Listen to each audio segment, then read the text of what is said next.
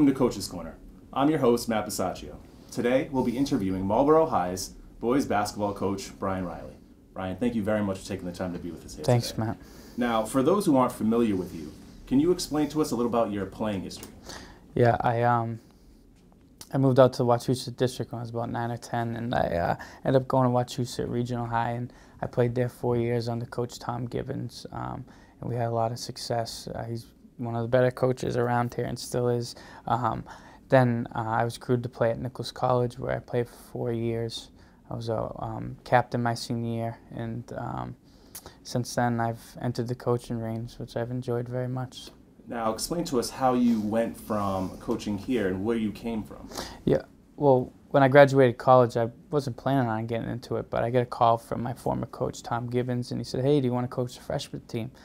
And um, I was only about 22 at the time, 23, and I said, "Yeah, sure." And so that's kind of how it started for me. And um, eventually, I was able to move up to JVs, where I was there for three years. And um, when this job came about, um, I thought it would was a good opportunity for myself. Uh, with, you know, as growing up, my uncle Rich was the athletic director so I always kind of knew um, what Marlboro kids were about, and you know, they had had a couple few rough seasons, and um, I just thought it was a good opportunity for myself to venture out and try to get my own gig and and try to be a part of something bigger than myself. And um, I was able to, to get the job, and uh, it's kind of taken off from there. And it's been a great three years. Great. Now, you're coming from Wachusett. Mm-hmm. Can you explain the difference between the cultures, say, like a Wachusett, compared to what you deal with on a daily basis here in Marlboro?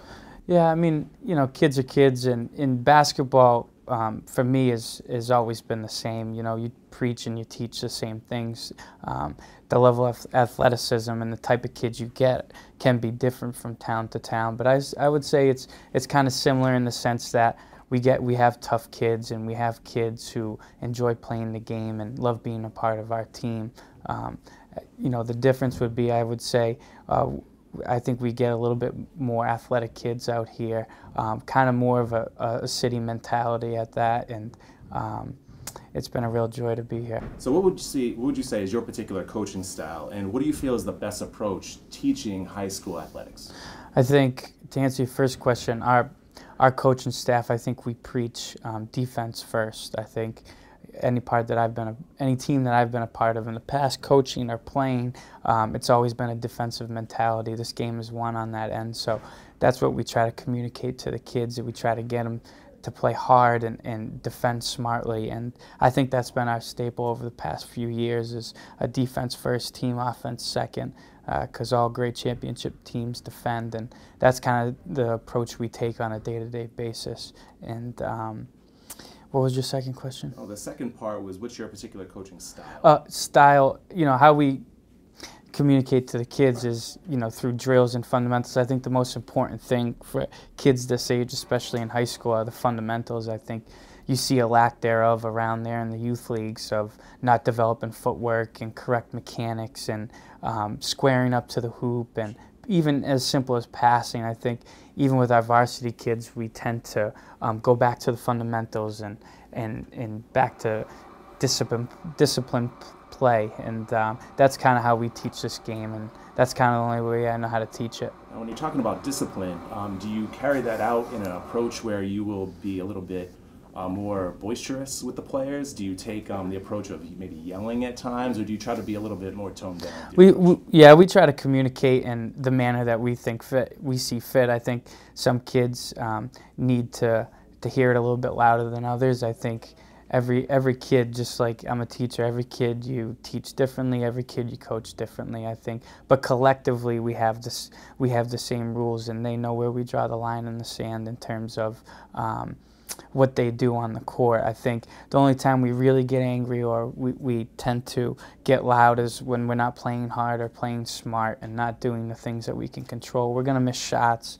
Uh, we're going to have bad offensive games, but I think that comes back to the defensive mentality approach where, you know, anyone can play defense. It doesn't take the best basketball player in the world, and um, they they understand that, and, and they've they've been great the past three years with it. We've really had three great teams that we love coaching, and it makes it that much more enjoyable for us as coaches. Um, from an offensive standpoint, what type of uh, what brand of basketball does Marlboro play? Now, do you play a, a fast paced, up tempo game in transition, Mm-hmm. or do you like to slow it down a little bit and set things up in the half court set? I would say overall we like to try to get up and down, but I think it's particular to the team we're playing. If we feel that it's advantageous for us to slow it down and, and make it a half court game, we try to do so. And if we think we can really push the ball and get some hoops in transition, we do so.